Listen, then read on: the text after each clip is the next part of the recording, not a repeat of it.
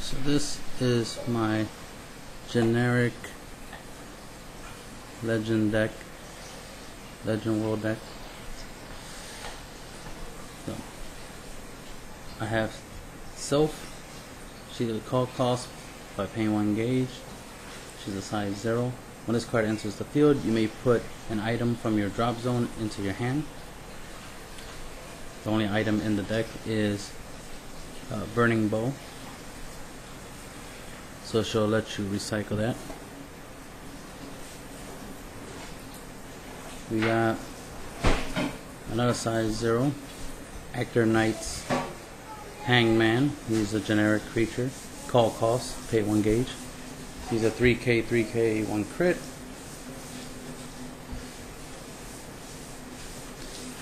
Size 1. Lowell, Dretch, Dretch, I think, Dresh, Think that's. Um, don't know what the name is going to be. This is the name that I got from Wikia, so I'm just going with it. It's a really nice size 1, 7k. You know, can't go wrong with that. It's you don't pay to cast it, so that's awesome. So that comes in handy. You just drop it and kill something pretty quick. A generic size 1, 4k attack, 5k defense, no crit capabilities, but it's just basically a, beat stick wall, I guess, whichever way you want to call it, right? Just because it's 4 it's 4k attack with 5k defense, that's why he's in there. And he costs nothing to cast, so that's awesome, right? Then this is Ice Blade Joker. It's a size 2, 3 crit, 5k attack, 3k defense.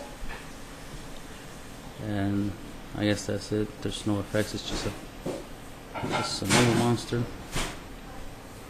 Another size 2. This is Lord of the Forest, This Islao Torag. And he has an effect when this card enters the field, put the top two cards of your deck into your gauge. So that's a way of ramping up your gauge so you could pay for everything else you got.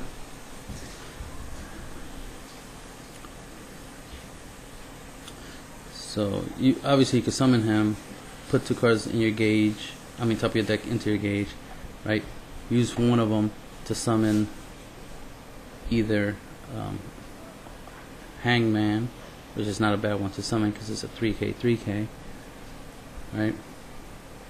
And then you can summon one. Um, well, these don't have no cost, but you know you can summon any of these if you want or you can summon her, which also costs one gauge. So you use the two gauge, and then you can get back an item card if you have an item card in the graveyard, especially if the, the item card was in the gauge. If the item card was in the gauge, then you could just essentially get it back. So then it's like a plus one, because you pay the cost before you cast, and then when you cast, you resolve, get the effect, and return the card back to your hand.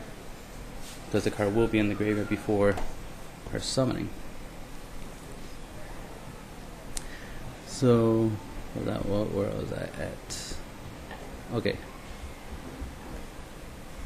Next monster is Armor Dragon Colibre. Call cost, pay two gauge, and put the top card of your deck into this card's soul. This card cannot be called to the center, and it has Soul Guard and Penetrate. Two really, really good effects. It's a 7k 2 crit with 5k defense. Not bad, not bad. It's a size 2. Steel Dragon Taras. Call cost 1 gauge.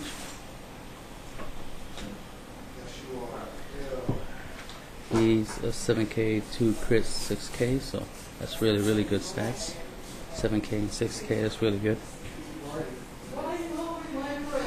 This card, Order of Dolan, uh, Dolahan, it's it's not a bad card. It's just it's only here because it's part of the world. It's like the only spell they have currently right now at this point until they come up with more support. But you know, I probably would play something else if more if more stuff comes out. Probably play something different. Um, but this is not a bad card. Um, cast cost, pay three gauge. You may only cast this card if you have six or less life. For this turn, all wider Sakar on your field get double attack. That's what I got from the Wikia. Eventually they'll fix that and um, signify what is getting the double attack eventually. Maybe legend or something, whatever it's going to be. Um, set spell, one of my favorites. Cast uh, cast cost of one gauge. All monsters on your field get plus one K power. So this is how you could beef up a lot of your monsters. And of course, these stack when you play multiples. So, for example, if you cast Lord of Forest, put two cards on top of your deck into your gauge. You could cast two of these because you could pay the one gauge for each. Cast two of these, and then he will be a 5k. Damn, that's not. That's a really good stat. I didn't realize he had 8k stat with two crits. But anyway, he'll be a 5k uh, attacker with 8 8k defense. That's really really good stats. I didn't notice.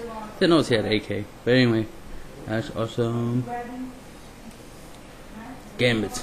I love this card. Glad it's generic because I can splash in every deck, and I plan to more more uh, uh, mainly when they make, create more monsters have effects that when they come into play they do something, and when they come into play and you don't pay to play them.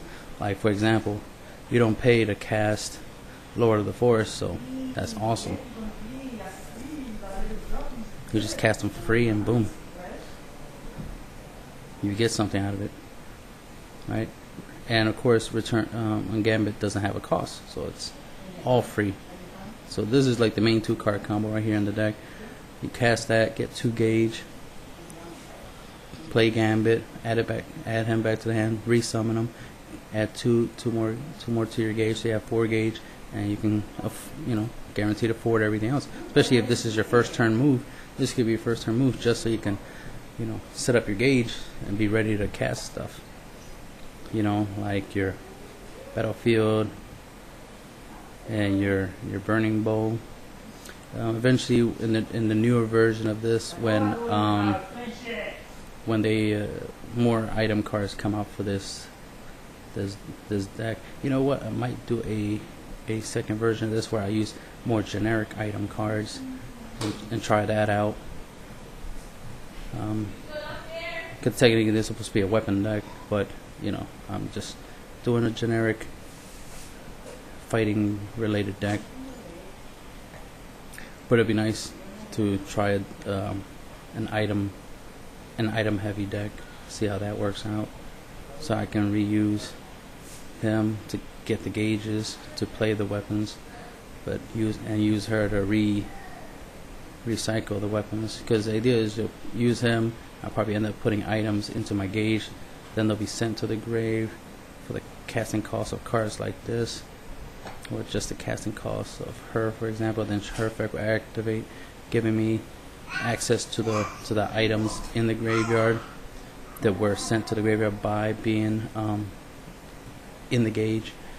So that way I have access to all these weapons that I can play with. And this deck, this world does have one weapon already, so I'll splash it in and experiment with it later.